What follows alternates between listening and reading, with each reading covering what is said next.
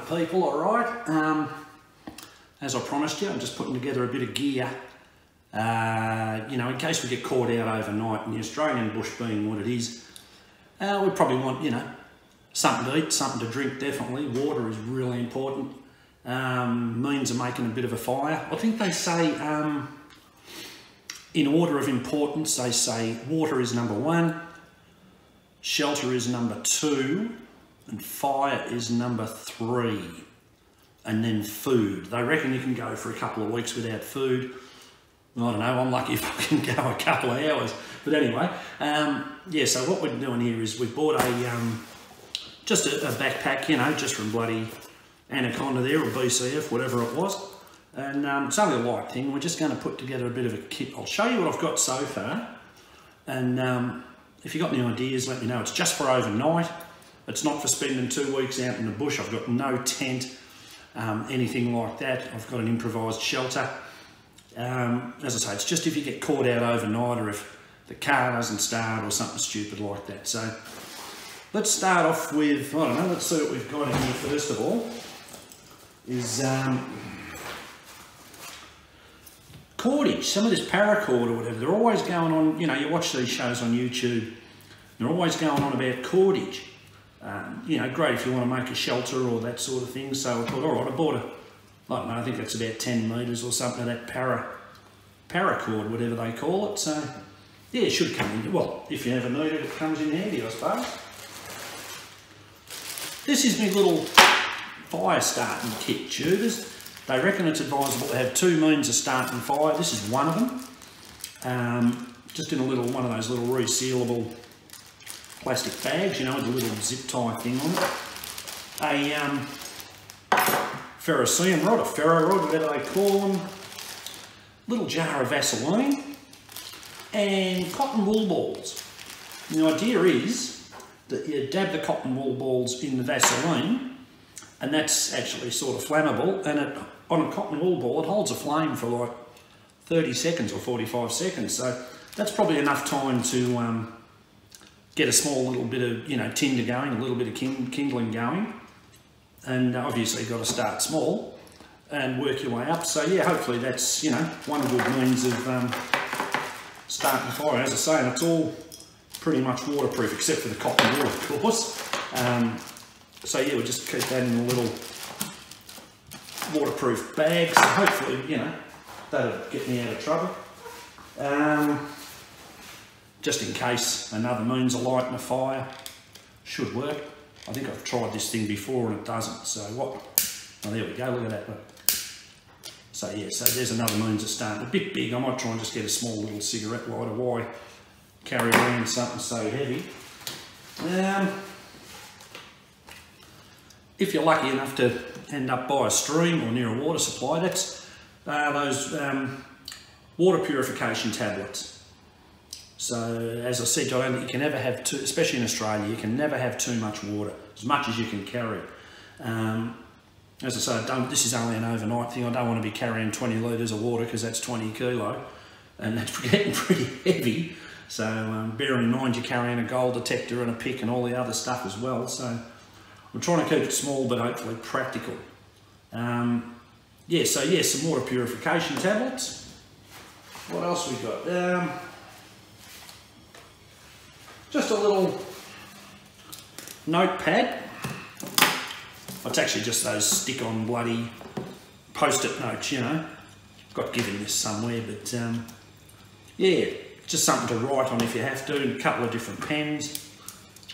So you can leave a message, you know, uh, where you're going or which direction you're heading. But obviously, as they say, if you get caught in the bush and you get lost, stay where you are, don't move, no one will find you. Um, this I thought could be really good for saving your sanity. It's just a, uh, a head net, just for mosquitoes and flies and that sort of thing. Um, if nothing else, it'll save your sanity because flies will drive you absolutely mad when they're around your face. I don't have a cattle and that put up with it, I really don't. But um, yeah, so that's just a thing you can put over your hat and uh, keep the bloody flies and stuff off you don't think I need to mention what you do with that. That is obviously tinder for getting a fire going. I can't think of any other use for a thing like that. Don't know what you'd use that for. So yeah, it's obviously tinder for starting fires. A little torch. Um, a couple of dollars at Woolworths, you know, just with a little battery. And look, even if it only lasts you one night, for a couple of bucks, who cares? But it just gives you that little bit of light. Um, I know they say those ones that have got the head strap are better because that leaves your hands free. Um, but at the size of that, I suppose you could stick it in your mouth and hold it with your mouth, you know what I mean? Bear in mind, like I said, people, it's only for one night. Little bit of, little bit of food. Um, all there is in there is just some nut bars, you know, that sort of thing, protein bars.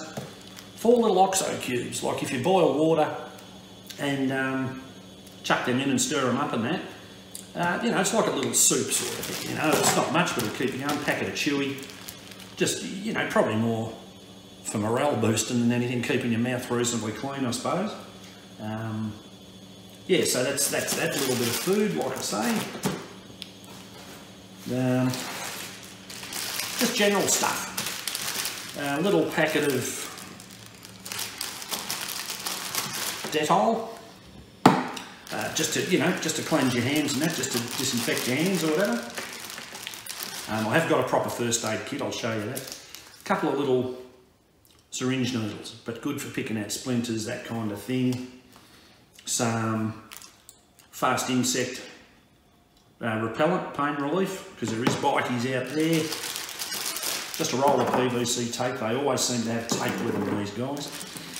And some antiseptic wipes. I suppose they'd be good if, um, you know, you ran out of toilet paper. So, you know, they'd be, you know, good for that kind of thing, I suppose. Like I say, they weigh nothing and, uh, you know, real easy to carry. So I thought, yeah, they're worth the, you know, worth a few bloody lousy dollars that you pay for them.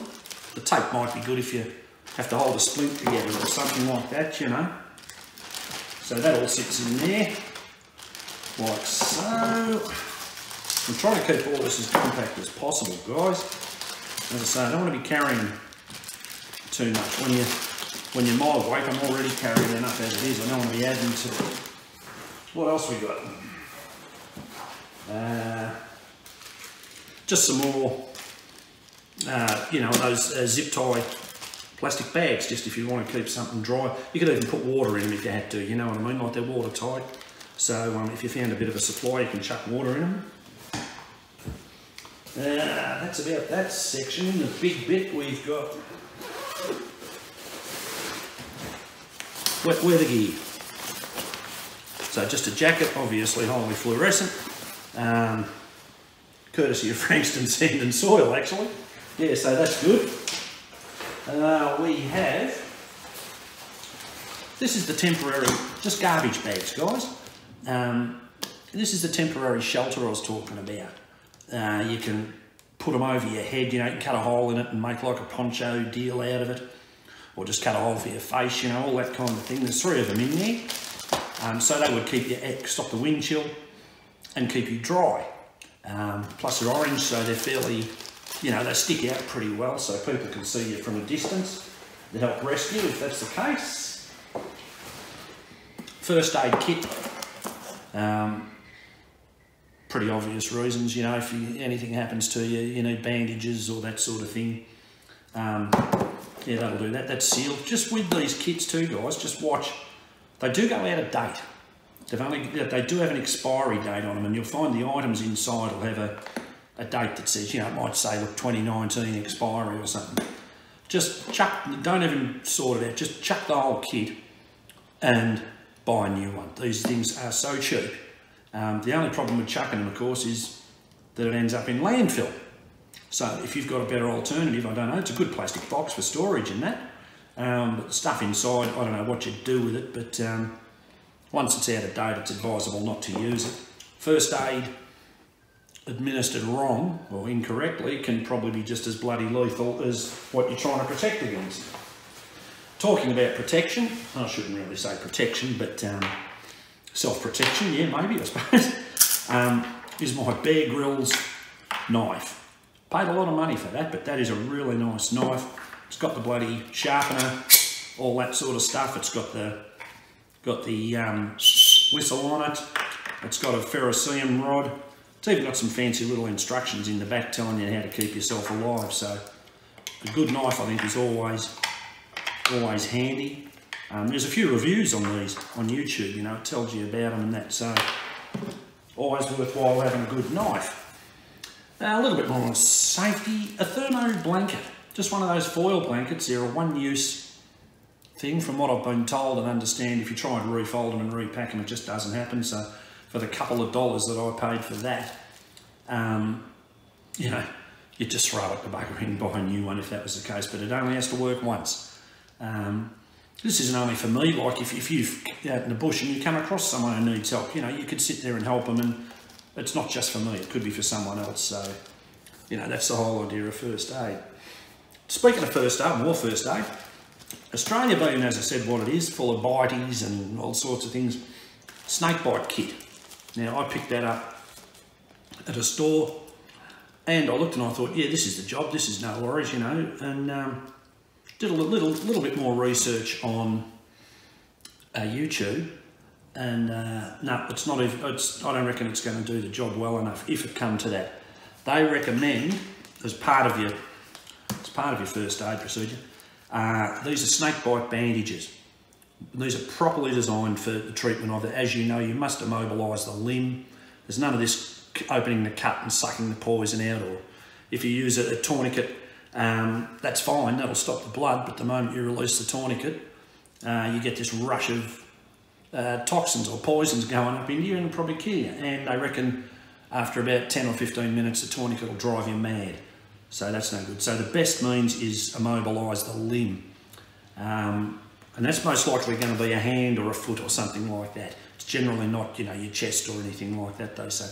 But these are proper snake bandages. And what happens is, I won't unwrap them, of course, um, on these is a, um, a pictogram, which means it's like a little picture. And what it is, it's a square.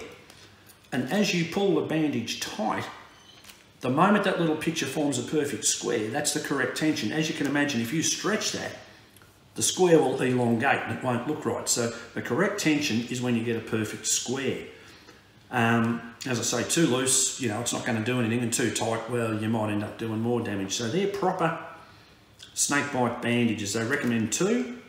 Once again, a couple of dollars at Chemist Warehouse, cost nothing. So I don't even know if I'll bother with that one. Um, that might have a bit of a splint in it, which I'll, I'll salvage, but uh, I don't think that's going to do exactly what we want. Um, apparently it's got a little, uh, yeah, a little uh, uh, guide to what sort of different snakes, little pictures thing in there about the different snakes. But yeah, we might just open that up and um, you know, keep the splint and get rid of the rest. Uh, having said that, as I said, water is the most important thing. So we got that one and we got that one. That's aluminium. Um, not real crazy about it. They didn't have a wide range, but um, you know, it's a good litre of water. And I suppose worst come to worst, you could, being aluminium, you could put it in the fire and boil it. I've actually got one of those little square mess kits coming, you know, the things that the, like the army guys use, so I've got one of them coming. Um, but I think most importantly out in the, out in the Australian bush, especially probably looking for gold, and I don't know, I'm not experienced and I could be wrong, um, it would be very easy to get lost because your mind's on finding gold, not on keeping track of where you park the car or that sort of thing. So unless you're really familiar with the area, um, what I have bought is a handheld GPS unit, and that is a Garmin eTrex 20X. Um, fantastic little thing. Not only can you program in latitudes and longitudes uh, of where people have found gold before, and this will direct you to it, you can also um, punch in the location of your car, the waypoint where your car is. And if you do get lost, you just punch in, uh, you know, return to waypoint, and this will automatically detect you or tell you, give you directions straight back to your car, or you can program it to follow the path you came in on. So fantastic little thing, and great if, like I say, if you get lost, it'll take you to the nearest town. I mean, if that's 20 kilometres away, you're in a bit of trouble, but um, you know, at least it gives you an idea of what direction you're going in. I think the batteries last for about 23 or 24 hours. If you have the backlight on, that cuts that in half, obviously. So you'd want to use it sort of sparingly. That's one other thing I will put in this kit is um, a couple of spare batteries for that. You know, they're only small, they don't weigh much, so that's probably worth having. Um, talking about first aid and personal location. I've also lashed out and bought one of these PLBs or personal locating beacon or an EPIRB or whatever they call them. So yeah, that's the unit there. Um, pull the antenna out and hit the red button there and that'll send out a signal and that they will find you within three metres of that. So that's pretty good. They can almost pinpoint exactly where you are. Um, that wasn't that expensive really, a couple hundred bucks, but I think well worth it if you've got a, a busted leg or something like that. Um, you know, that's be great. If fell down a mine or anything like that. Be fantastic for helping you. Um, of course, it'll only work if you're conscious. Um, if you fall down and hit your head and you're unconscious, none of this stuff's going to do you any good, is it? Because you can't bloody well use any of it. So you can only try and hope for the best. One last thing I got tubers was one of these um, signalling mirrors. You know, and you sort of look through the hole in the middle, you look through that, and you, I think you line that up with the plane or whatever you can see, and um, do that, and that'll flash a little flash of light. So, um, yeah, I thought, you know, once again, a couple of dollars, all this stuff was only like, the only expensive items were obviously the GPS and the PLB. The rest of this stuff costs nothing. Um, I know it looks like a lot, but it's actually not that heavy. Oh, it will be a little heavier when you fill these up with water, obviously. Um, but you're going to drink that probably as you go. Like that's my sort of day one, you know, as you're walking around, you drink water out of that, and that's your emergency one. I know it's not much, but it might be enough for 24 hours or overnight, you know. And if you're lucky enough, you might find a little stream. But yeah, that's that's all packs away into that, tubers. Um, as I say, if you've got any got any more ideas, let me know. As I say, I'm far from expert in any of this. I don't know what I'm doing with it, but um, I'm learning very, very quickly. So, yeah, thanks, guys. And um, yeah, as I say, there's probably uh, that might be about it for this video. I think I don't think I'll be putting much more in. Got a little bit more stuff to show you, and we're going to be heading off very, very shortly up into central Victoria. So, watch out for a whole new range of videos, and hopefully, um, we'll be getting some gold as well. Well, guys, that's it for part 19. Um, first thing I want to do is thank my new subscribers. We are up to six. Now, we're flying along with that here, so whoever that is, thank you very much. Thank you to all my subscribers. I'll try to keep these coming. Um, we shall see you very shortly in part 20. And yeah, take care, tubers. We'll talk to you soon, guys.